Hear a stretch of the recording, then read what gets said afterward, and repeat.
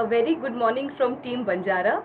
Today we bring to you a topic which you know we are noticing, we are observing that there are so many relationships uh, you know that are changing and friendship seems to be one of them. So bringing to you this topic is Dr. Ali Khwaja. So I welcome him.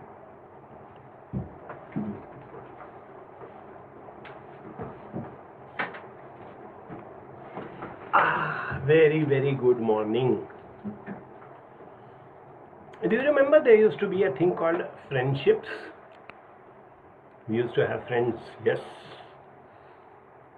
Right from our childhood, as we grew up, our friend circle expanded. We had best friends. Nowadays they are called besties. We used to have casual friends, we used to have friends from school, friends from the neighborhood, and it went on and on and on. Today, the thought strikes me about how friendships have evolved and how they have uh, uh, changed. Hurdles or, you know, mm, uh, roadblocks to having friendship, meeting friends, and all that used to happen even earlier. When I was thinking about today's topic, I was reminded of the fact that my brother and I, for some years, had to go and stay with our grandparents because my father was posted to those remote districts where there were no good English medium schools. Now, my grandfather, uh, you know, had retired and he had, was used to do some consultation work. So, the front room in his house, facing the gate, he had converted into a little bit of an office. And most of the time, he used to be sitting there doing his work. Now, our friends used to come. We used to stay in a very central locality, so a lot of uh, our friends and all used to come to our uh, uh, area. I had the type of friends, you know, who used to come and be very nice and respectful to both my grandparents, and they got along. My brother was a little more adventurous type. He had those friends, you know, who are not, according to my grandfather, the type of people you should make friends with. But he liked them. He enjoyed their company. Now, the obstacle was that any of those friends come and my grandfather would start interrogating them and they would be very embarrassed. So, what they wanted was that they would come near the gate and they wanted to call out my brother that you come out. We don't want to come in because grandpa is going to question us or interrogate us or whatever, uh, lecture to us. Now, how do they get along? Initially, they started off by coming up to the gate and shouting his name and running away on the cycle. Grandfather got even more angry. He started telling my brother, What sort of friends you have? Why do they come and just shout your name and go away? Why can't they come in and all? Okay, so that was out.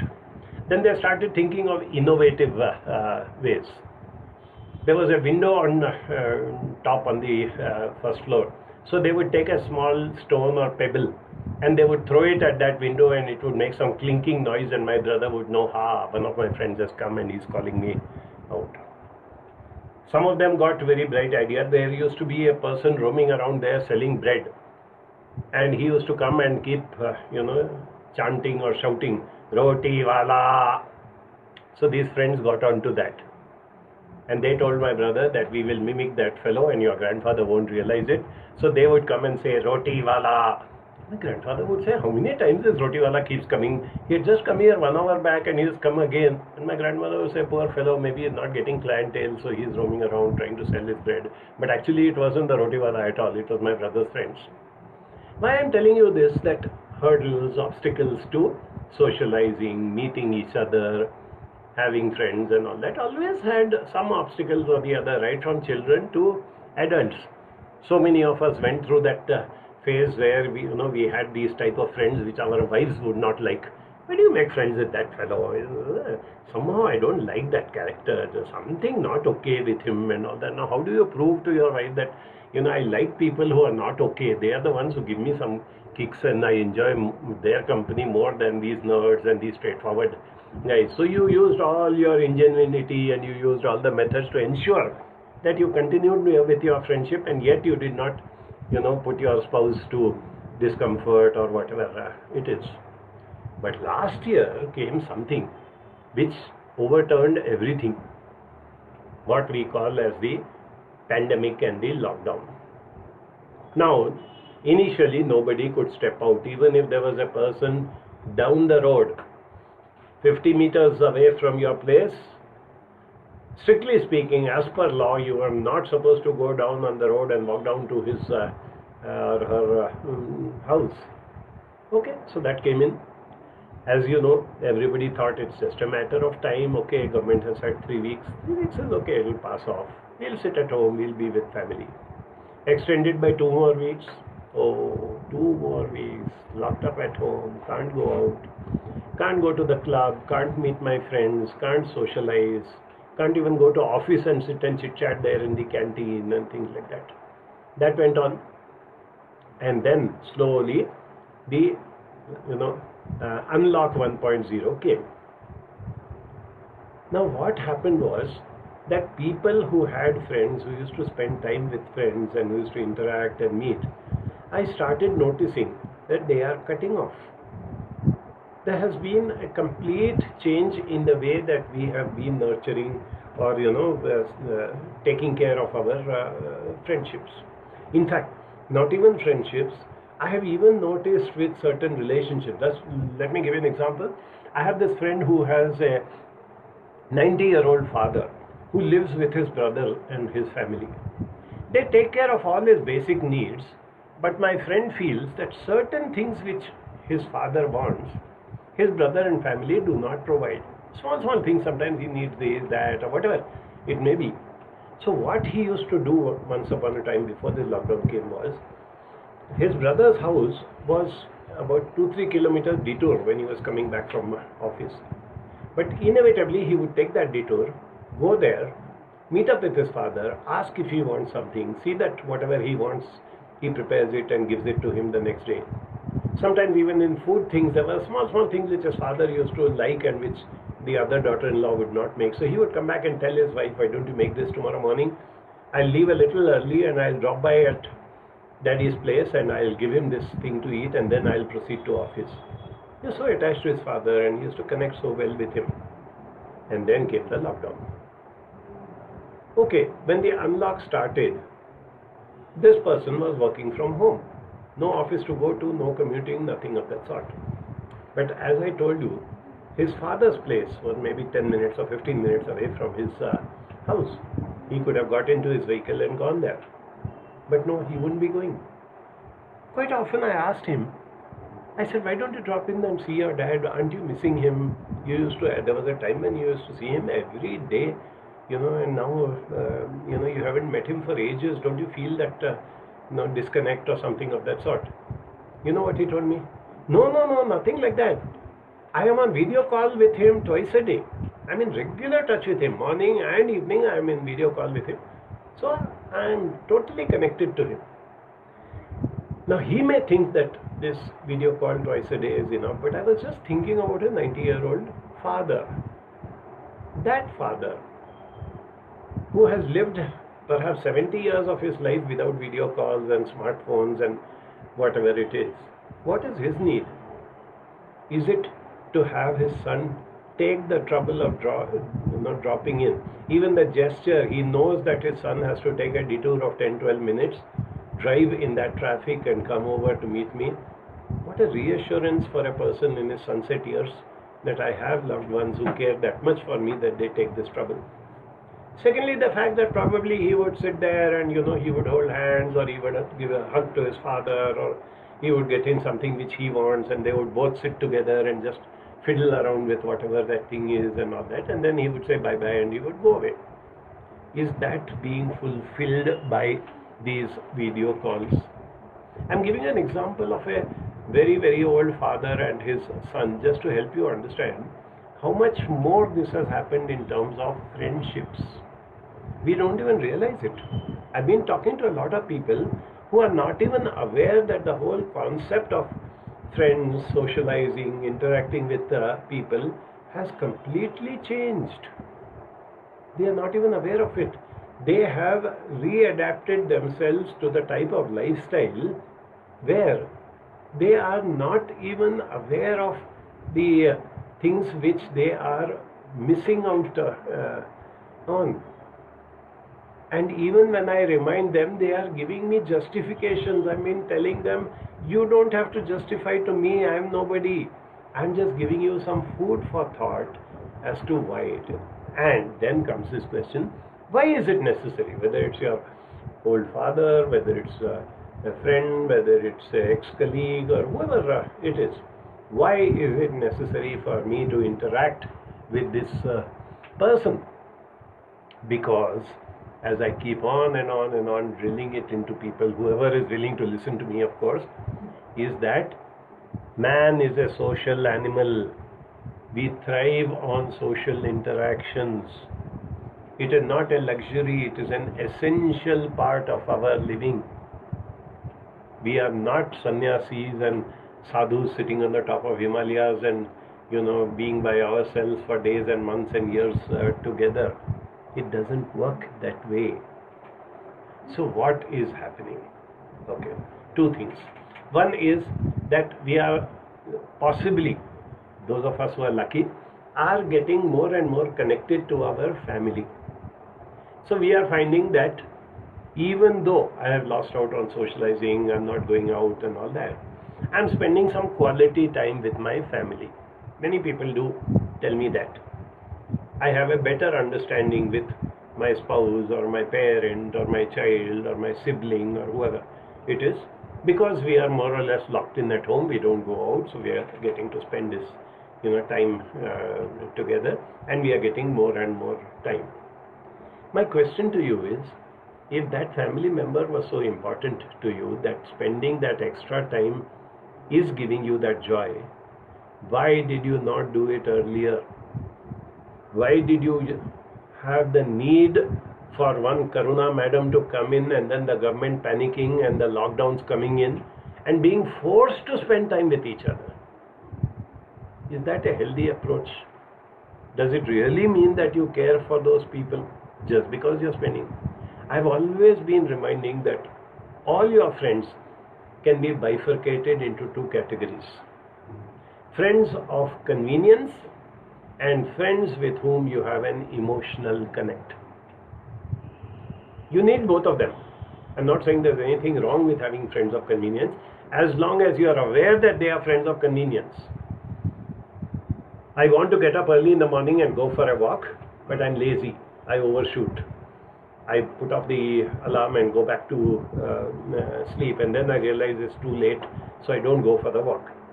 Now, supposing I find somebody in my colony or my building or whatever it is, who's also interested in going for a walk at the same time, uh, early morning and all that.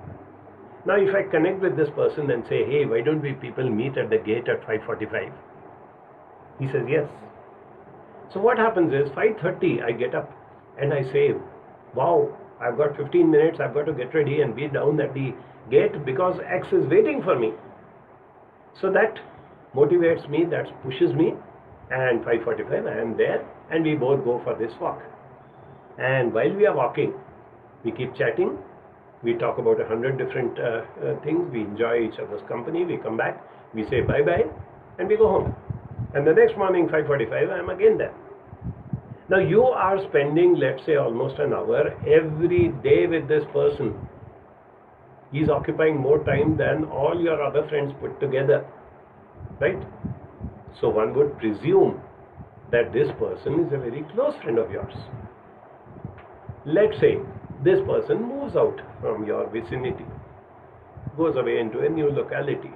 Not very far, but far enough that you can't meet and go for a walk. So the walking is over. Now, a person with whom you had spent an hour every day would you not like to meet that person at least once in a week or something of that sort? You will realize that you don't.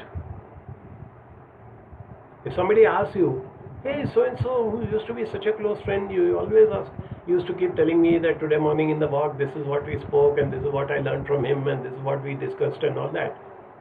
How is he now?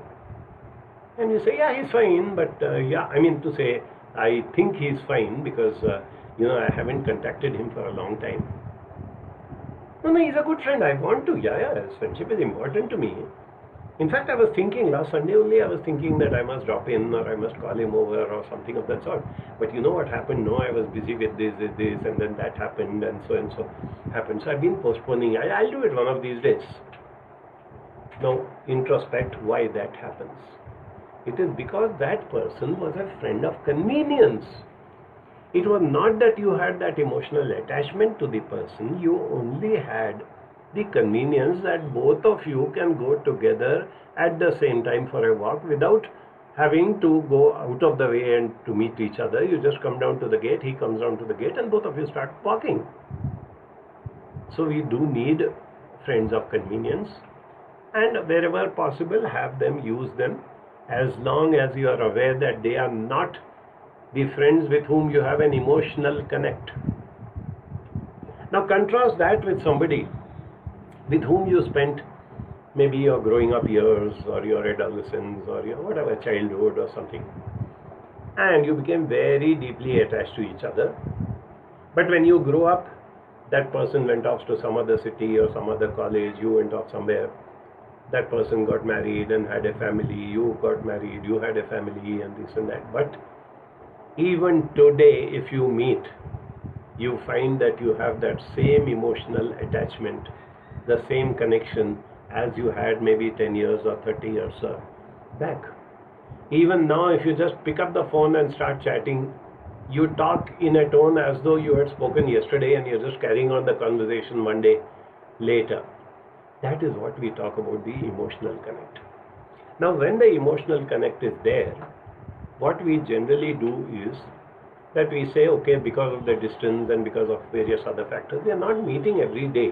We're not even meeting once a month or whatever it is that the person is very, very far away. But you are there in my mind, I'm there, and in whatever way possible, we will do it. We will connect to each other.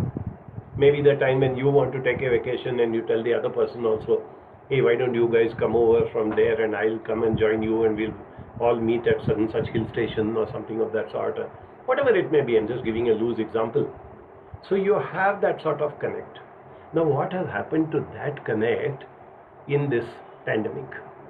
That is my question.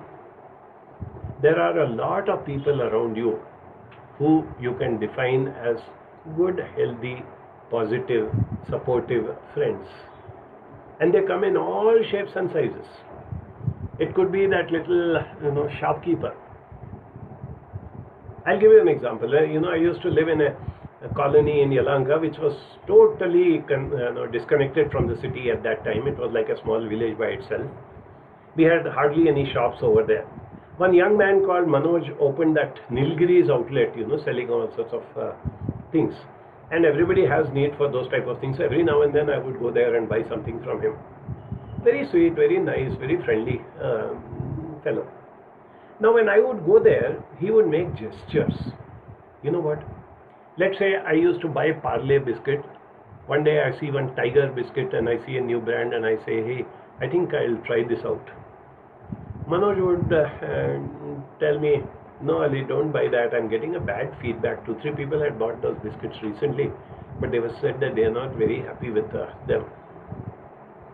Now, here is something which is being sold. He is making money, it is his business. But this man is preventing me, saying, Don't buy it, losing business. What a gesture, no? I said, Here is a lovely human being. He is not just chasing his money. So I would connect to him more and uh, more. Okay, now the obvious question that you will ask is uh, what Hema Malini said in uh, Sholay movie, no? कि घोड़ा अगर घास से दोस्ती कर ले तो खाएगा क्या if the horse starts making friends with uh, the hay then what will he eat so i asked him i said if you yourself tell people don't buy this this brand is not good this item is not good and all that what happens to your business he had something very interesting to tell me he said some of these products i have the right to return so i buy this particular brand of biscuits uh, you know from whatever the wholesaler on the condition that if it doesn't sell, I'm going to give it back. And next time I don't stock uh, uh, that. So that takes care, I'm uh, not under loss. The second thing was very interesting. He said, There are people like you who come, talk to me nicely, ask me something, inquire about me. those are the people I tell them don't buy this brand or don't buy this product. There are these grumpy fellows who come, pull out things from the shelf and put it on the counter and say H2O.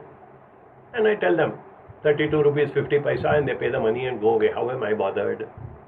So I do have customers who buy those brands and those uh, things and I know that slowly it will sell and it will get over and whether to restock it or not I will decide, right? So look at it even in a pragmatic way. But the fact is that here is a person who's a friend. Eventually, you know what happened. Malls came in. And these small, small fellows like Manoj found their business floundering. And many of them closed down. Now, you go into a mall and you realize that they are all impersonal people. Even at times, there is a salesperson or a cashier who seems to be nice, who smiles at you, and you know you start just developing that friendship, and before you know it, that person has left the job and gone, and there's a strange face over there. Now this is what has already been happening, and then came the pandemic. Now who goes to malls? Why do we need to go to malls? No, no, no, no. Well, COVID all over the place. I'm not going. I'm going to sit at home and order stuff. And every time that I order stuff, some new person brings it to me within a couple of minutes I do the transaction and uh, probably I've already paid online so all he has to do is to give it to me. In some cases he even puts it in front of the door, rings the doorbell and walks off. I have to open the door and pick up the uh, stuff so I don't even make facial uh, connect with that person. Even these simple friends like the shopkeepers, like the hawkers, like those type of people, we are missing out on them have we realized, have we given a thought as to what is going to be the long term impact? The same thing is happening to office colleagues. There was a time when so many people used to come and say, I've got this very nice one or two people in the office, you know, they are more than colleagues, they are like very good friends to uh, me whenever I go to office, I enjoy even if I get to spend 10 minutes in the tea break in the canteen and have a cup of tea with that person. I feel very nice. I've got these type of people. So that used to be a motivator to go to office. Sometimes it was a simple thing like that security guard or some canteen person also who used to chat up and ask, hey Gidira, what's happening, these, these, these, something of that uh, sort and those used to be the human faces which were part of my work life. Then there were also people who were nasty. There were people who would scowl at me. There were people who would purposely in a meeting point out my flaws and I would feel so embarrassed and self-conscious and then the boss would pick it up and from there he would you know scold me or something of that uh, uh, sort. I had those bad days also in office. But believe me, that is how you learned. You must be thankful to such people because they helped you to grow, strengthen yourself, and face other social and interpersonal issues which will come in the future. But now it is all work from home. It is already more than a year. In fact, IT companies, if I remember right, started work from home right from January, February in 2020. We have now come into April 2021. Many companies have already said that at least till end of the year we are not going to open offices. You're going to work from home. Now you are being deprived of human contact for two years. Imagine working closely with people whom you never get to see in person for two years. There are people who have been recruited online through virtual interviews and they have joined the team and their bosses have never met them. What does it mean? Are you so great that without meeting a human being, you can continue to extract work from that person you can, uh, can uh, you know work as a team and you can show your leadership skills and this and that. Hats off to people who are doing that sort of thing. And even if they are doing it successfully is it the right way to do it? Or is it a compulsion?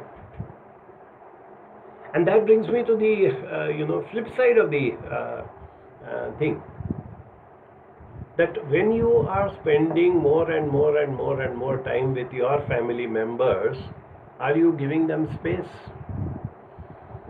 We are all aware of the fact that close relationships always need space. You cannot be stuck to the same people all the time when you are with somebody so closely. For that relationship to nurture, it is like one tree growing in the shade of another tree. It never blossoms out. It needs space. At least part of the day it should get sunlight. The same thing happens in human relationships. So, on the one side, we are missing out and we are being away from our friends, our acquaintances, people whom we used to meet in office, people whom we used to meet, you know, socially and things of that sort. On the other side, perforce we are spending more and more time with that very limited number of people. At least if this had happened a hundred years back, houses or families normally meant seven or seventeen people. Today, most families mean three or four, maximum five uh, people in a family. So, how long can you go on interacting with the same people day in and day out? Everybody sitting at home, children not going to school and college sitting at home, father working from home sitting at home, grandfather who used to go out and spend time doing some social work, meeting his friends, going to the temple and all that, now sitting at home. Homemaker who was not doing a job outside home used to inevitably take out some time to go and spend time with her friends or go to some kitty parties or do some shopping or something. She is sitting at home. And obviously, homes are not some palaces or something which are on five acre land and you've got huge open spaces or something, nothing of that sort. To most of us, homes mean 2 BHK, 3 BHK, we are very lucky 4 BHK, full stop. Within those constraints, we are on the one side suffocating ourselves and on the other side neglecting other people. I was amazed when I was talking, I was invited for uh, a conference of pediatricians. Okay. And believe me, it was an in person conference. I was so thrilled. They said, We are going to have this conference in our auditorium and you're going to come there.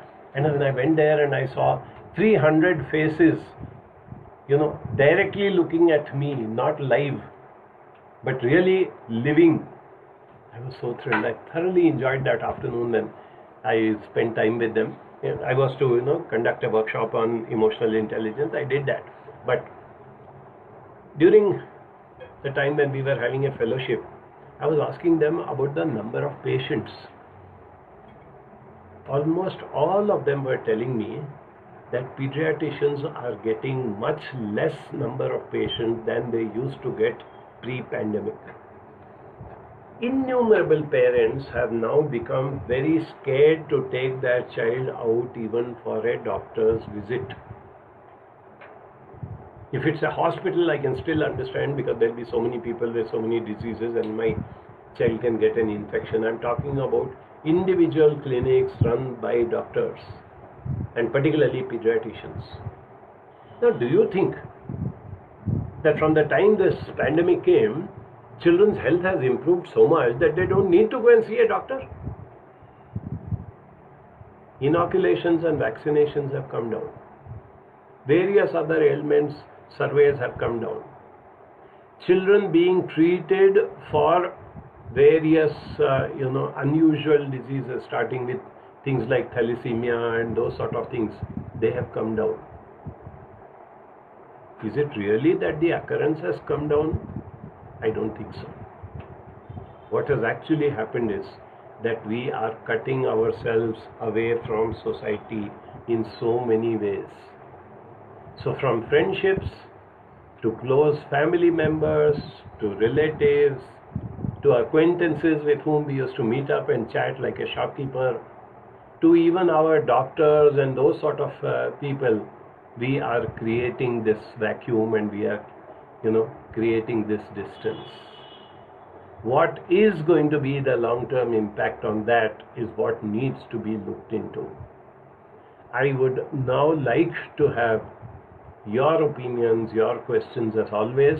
There's so much that I learn from you when whenever I interact with uh, all of you, and it's so heartening to see so many of you logging in live when we are doing the session. And I'm told many, many more people do it at their own convenience and they watch it later. But those of you who are here today, present and uh, joining in this uh, thing, I would please like you to type into the chat box your questions, your doubts, and all that. And while you are doing that, I would like Seema to just fill in a couple of minutes and I will be back.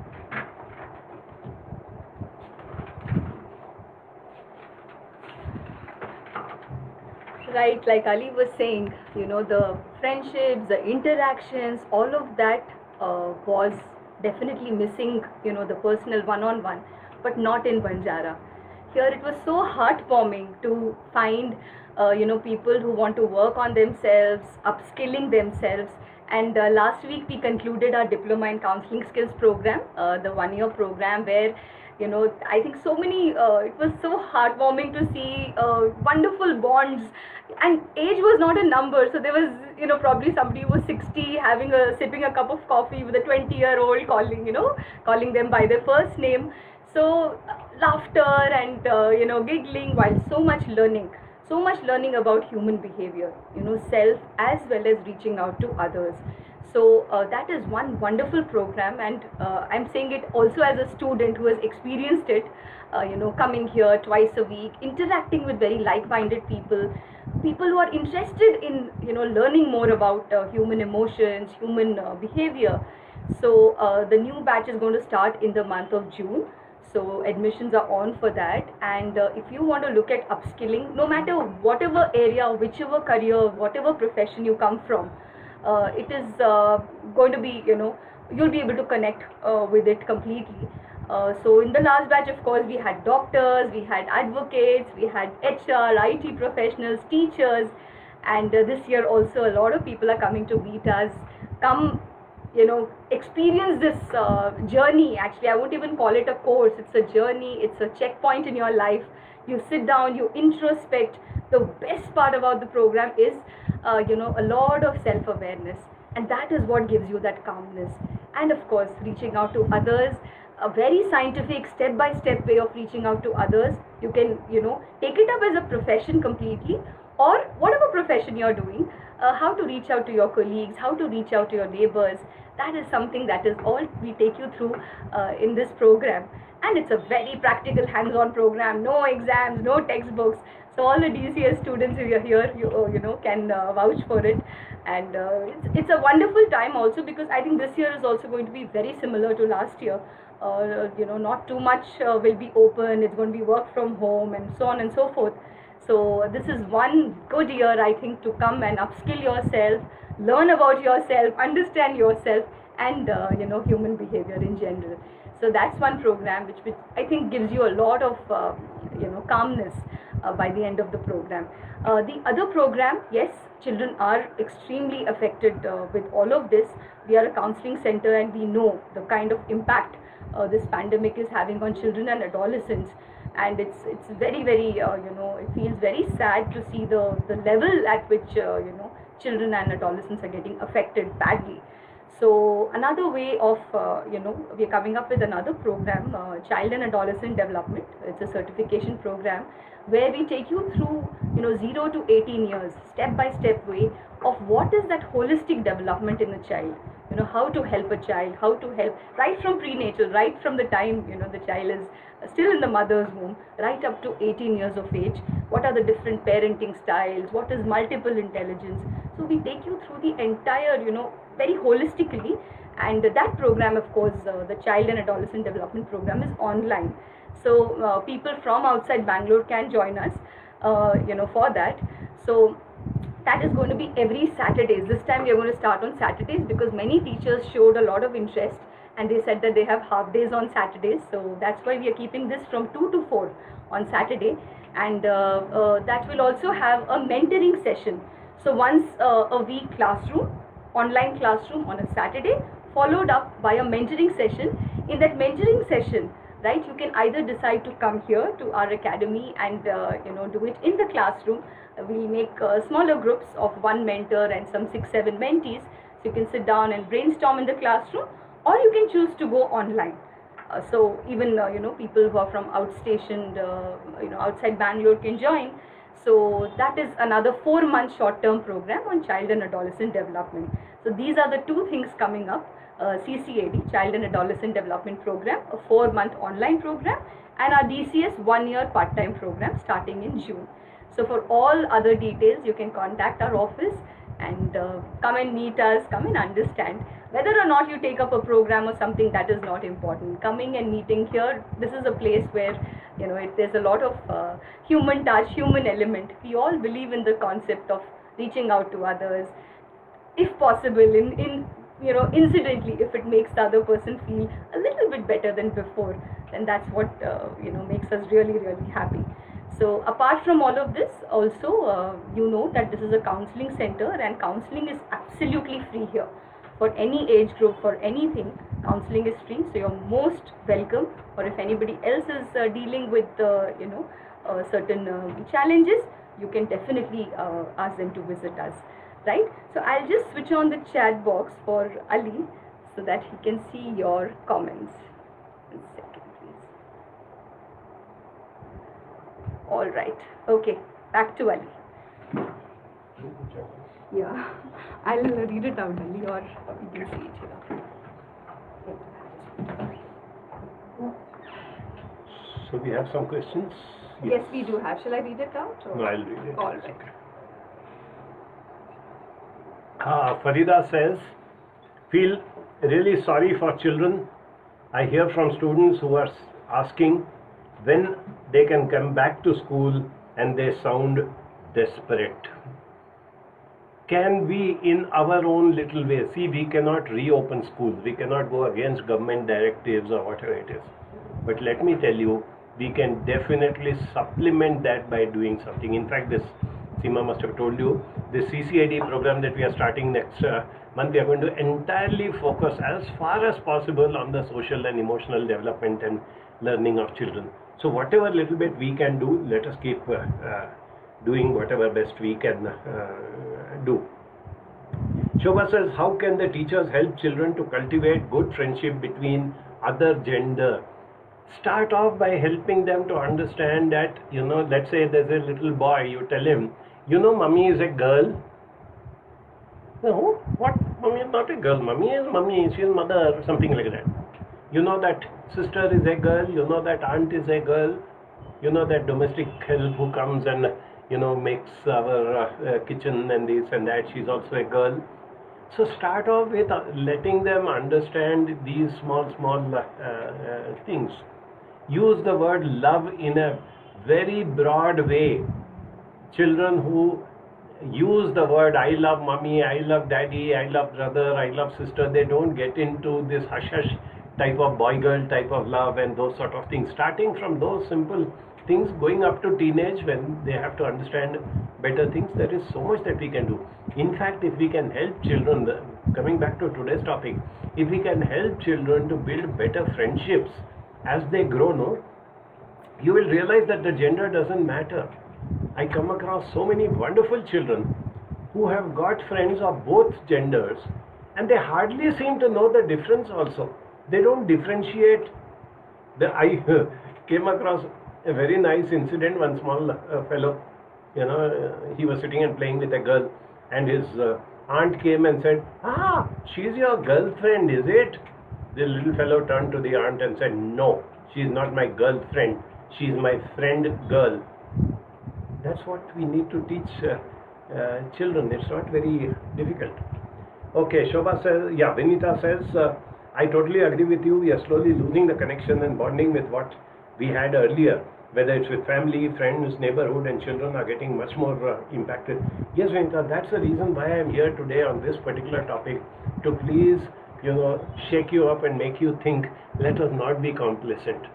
And you know how the situation is while the uh, pandemic may be over, while the vaccinations may come, but the fear in the minds of people, the way we are trying to keep away, the way we are trying to protect, every time the same thing is happen, happening. So we are in for a long haul. For all you know, after all the vaccination, these, that, everything is done, but new virus may come in and again people may go scurrying and lock up their doors or something. So let us be prepared, you know. What they say is, the lovely proverb which I always like is, hope for the best, but prepare for the worst. That is what we need to, uh, you know, work out uh, on that. These are the type of things. Thank you for uh, two, three of you have sent good compliments on uh, this issue. These are the type of things that we need to keep, you know, working on. And also remember, since many of your questions are on, uh, you know, children, also remember that we, the adults, are role models for our children the way we inculcate and develop our friends, the way we be- behave and you know treat our friends, children automatically follow the same pattern. I have known of children who have turned around and said, if somebody says that you know, what sort of friends you are moving around with, why do you make friends with such a character? I know of children who turned around and says, what sort of friend is Mr. So and so whom you keep interacting with regularly? Do you think he is a wonderful person? Now here comes a very, you know, intriguing and a very useful thing. Are you looking at this child as a insubordinate, arrogant child? Or are you looking at this child to say, he wants to learn, he wants to know why, you know, you should make friends with somebody and not make with somebody. How do you determine that this person is a good person and this person is not a good person? So the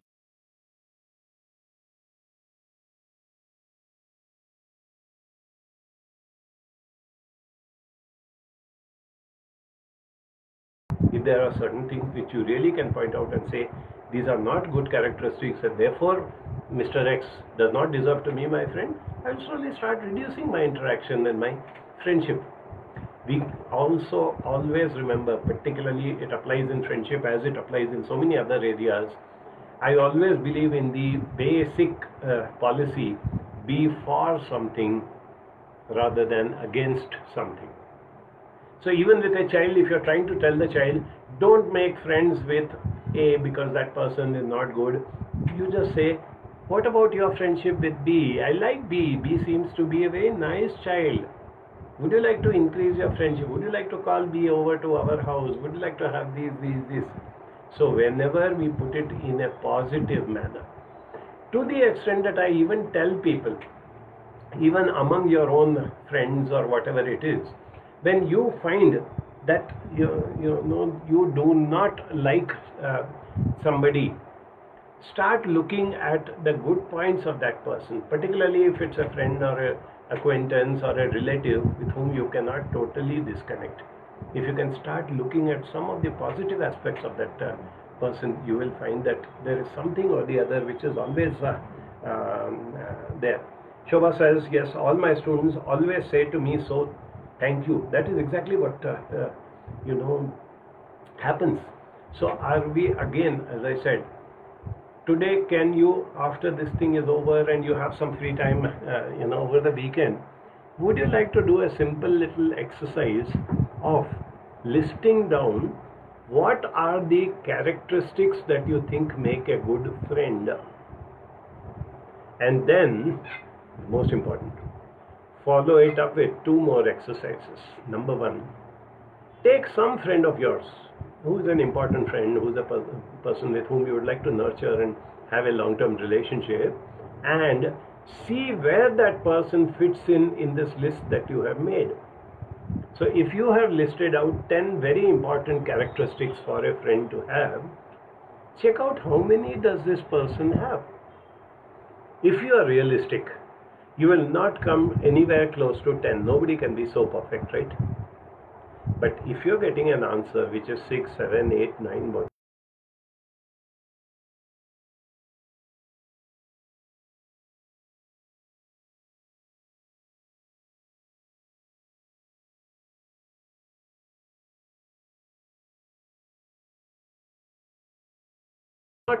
have.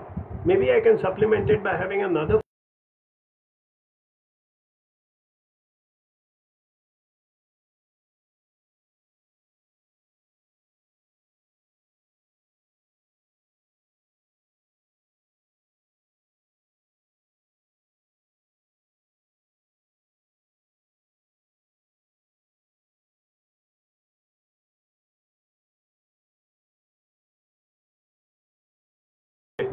positive. Many of us seem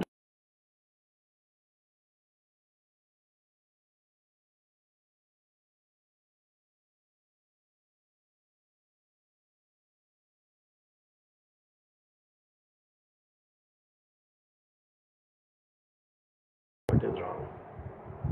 In that feedback, when you realize